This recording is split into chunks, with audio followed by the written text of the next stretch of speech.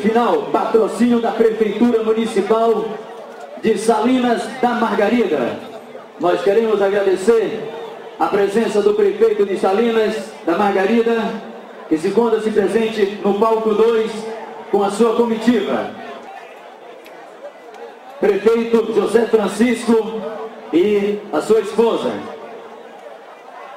Próxima corporação a apresentar é a fanfarra Impacto de Salvador.